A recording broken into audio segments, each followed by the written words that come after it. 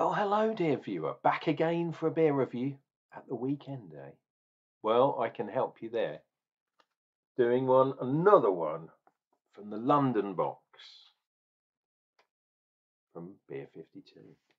And we are in Camden Town, which isn't up here, it's actually here, just above Mornington Crescent. Every, everyone that comes to London or lives in London know where Camden is and goes there at some point, even if it's just to the zoo, which is just round the corner. But that's it in there, uh, which is a bit of a shame. However, we have got the trusted map. Please, please, Beer 52, keep these going, man. I think this, having this, makes me so damn happy. Uh, right, there it is. And that is the beer we are doing today. It is a Cascadian Dark Ale, which is a really nice beer. I, I, I actually love it. Um, it's from Werewolf Beer. It's called Yerkes Cascadian or Yerkes Cascadian Dark Ale. Truly a, a style uniquely created by American brewing and home brewing. Cascadian Dark Ale takes its name from combined areas of Oregon uh, Washington and Northern California. It's like a black IPA uh, or a brown ale, um, but drinks almost like uh, a regular West Coast pale. Um, we've selected classic US hops and newcomer Idaho 7 to punch the orange like character through. Um, looking good, looking good. Um, and in addition to the Idaho 7, uh, Columbus, we have Amarillo and Simcoe. So there's lots of orange going on there. And this is the can. Look at this. This is cool. Werewolf beer, Camden Town, Yerkes. Um, 5.4% on the ABV. And we have a different legend on the back. Um, it basically says we make classic US craft styles uh, that are balanced, bitter, and clear, uh, straight from Camden Town through the twisted lens of authentic American rock horror drive ins, country ca- cans, and grub. Jesus Christ, that's a mad one. Uh, we were born in the USA. Uh, yeah, whatever. Anyway, it actually says they brewed this in honor of Charles. This is the important bit Charles Tyson Yerkes. Uh, tubes, basically.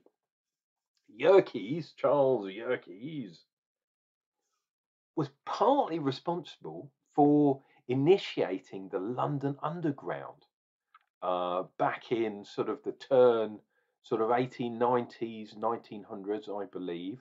Um, and he was betting or uh, vying for control against JP Morgan and beat them, which is really cool. But from what I understand, he actually died um, before uh, the first, or it would, probably wouldn't have been the first, but before some of the uh, the undergrounds and the tubes, as we call them in the UK, especially in London, uh, were finished. Um, so he put stake loads of money, like absolutely shed loads of cash up, and then he died before it was open. What an absolute legend.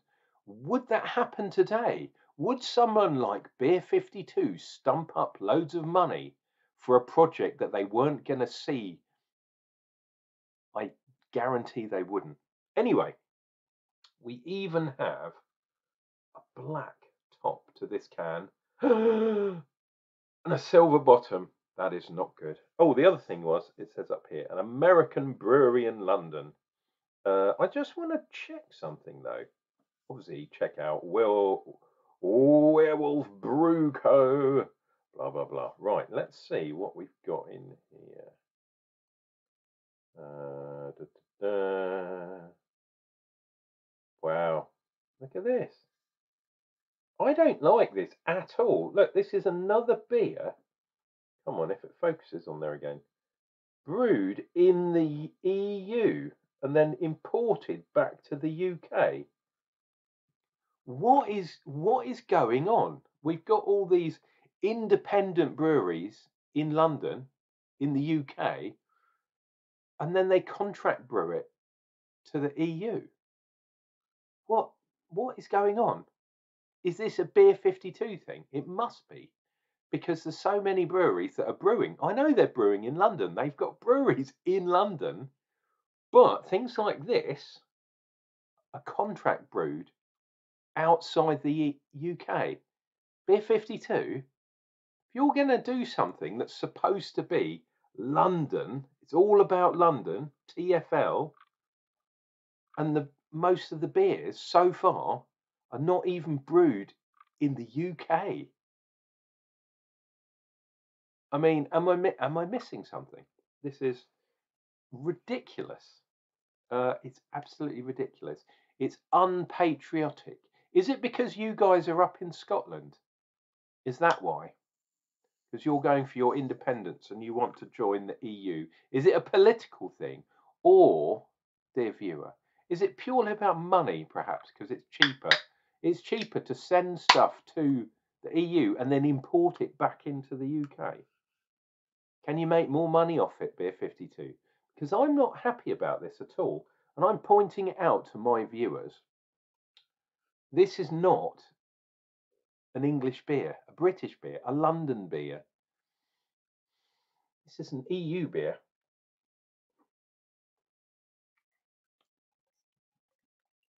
Makes you think.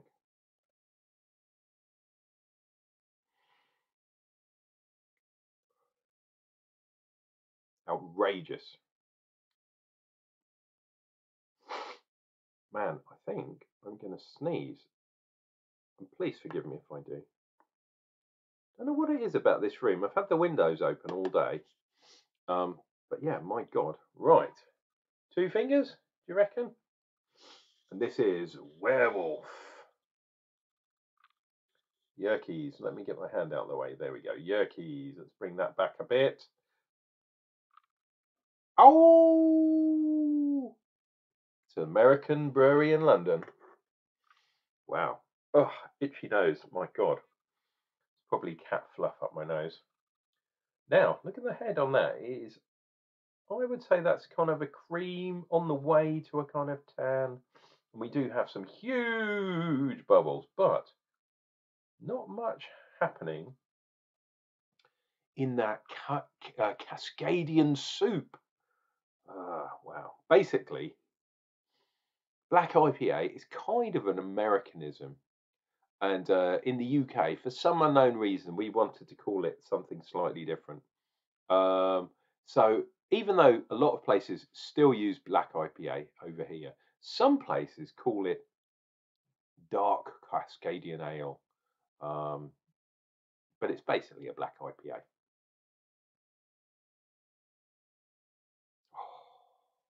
Lovely, lovely. I'm getting some lovely aromas. As some of you know, I really love black IPAs. I'm so happy. And Cascadian, or yeah, Cascadian ale. I keep wanting to call it something different, but no, Cascadian ales. I love them. I love dark beers. And a dark beer with loads of hops is just something that blows my mind. It's fantastic. Basically, it's um, a dark beer, but probably only in colour. It's not a, a roasty beer, and then it's got shed loads of hops in it. It's just oh, lovely. It's almost like a. I was going to say a mile, but that's not strictly true because these can be quite heavy ABV wise.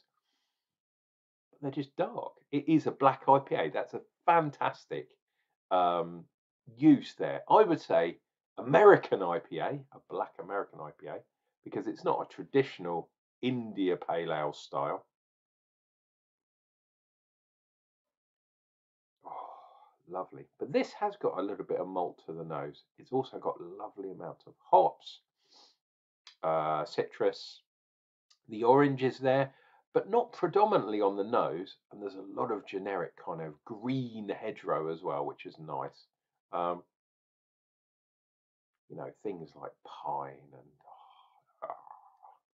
all the good stuff.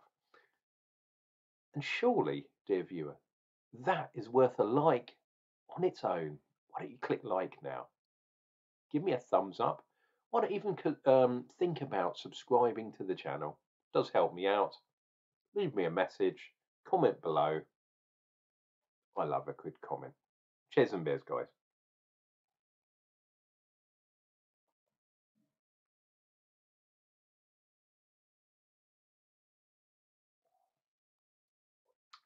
Wow. So a nice amount of creaminess there. But then the green kind of takes off. The green, the hop goodness. For having like a lot of different uh, hops in there, uh, I'm not getting too much, especially Amarillo and Simcoe both kind of give orange and citrusy type things. Um, slightly different forms, but they're both kind of citrus orange. Idaho 7, for some unknown reason, I think um, Idaho 7's the one that always gives me coconut because I am tasting a nutty thing in here. Um,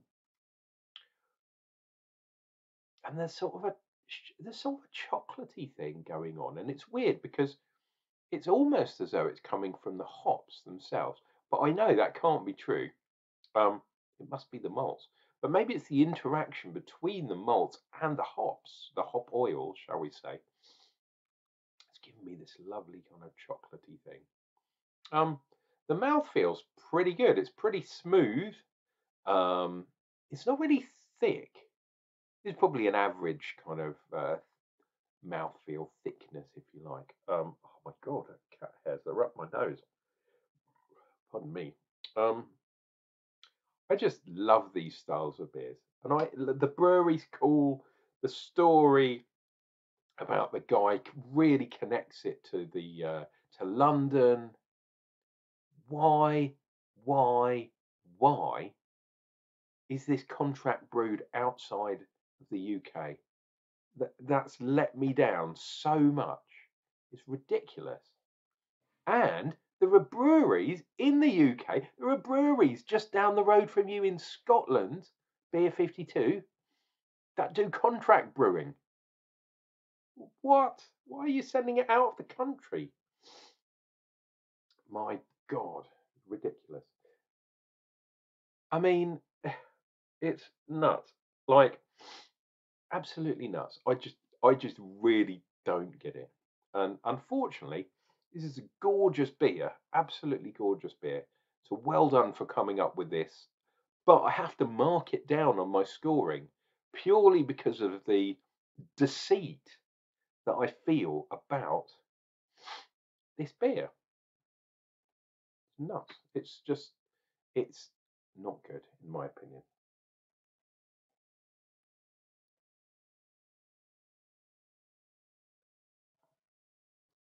Right, let's get back to the beer itself. Lovely beer. I'm liking this. Personally, anything that says IPA, in my book, should be probably over six, six and a half. This is what, five and a bit, five and a half, five, 5.4. My apologies. Um, if it focuses, which it probably won't, but there it says there, 5.4 yuckies. But the taste, the things that are going on, all good, all yes.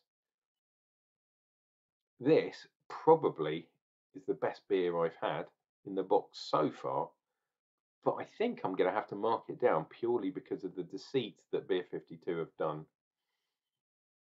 I very much suspect it's because of money. So, independent breweries like Werewolf Beer, well done. Um, but yeah, I think you kind of sold out a little bit. If I was a brewer, I'd want to brew my own beer in my brewery, unless I was a contract brewer. Um, yeah. American Werewolf, not in London, perhaps.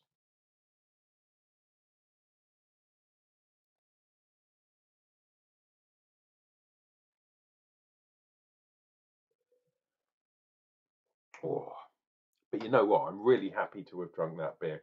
Tasted good, and that's kind of the bottom line, isn't it? This has been your loving Uncle Jona. Please take care of yourselves, dear viewer. Take care of yourselves over the weekend. I will be back. I will return with another beer review real soon.